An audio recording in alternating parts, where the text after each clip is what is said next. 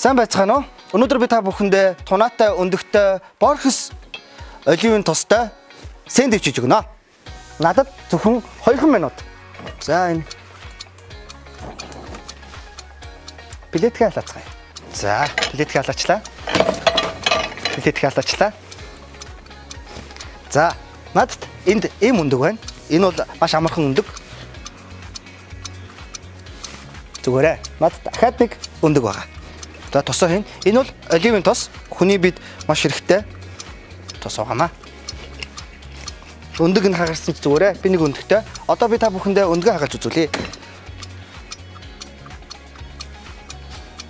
Одоо би зүгээр ингээл хийчихдээ. Ингээд.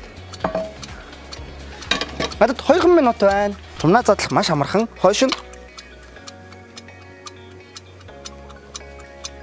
зүгээрээ бариул нь байхгүй болсон болохоор би тунаага амархан задлж үзүүлээ.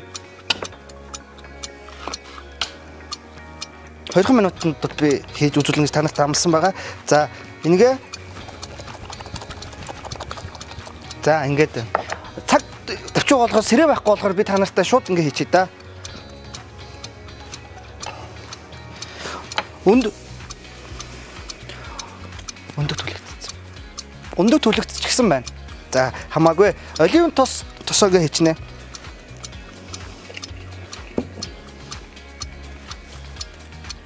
За ингээд сэндвич нь бэлэн боллоо.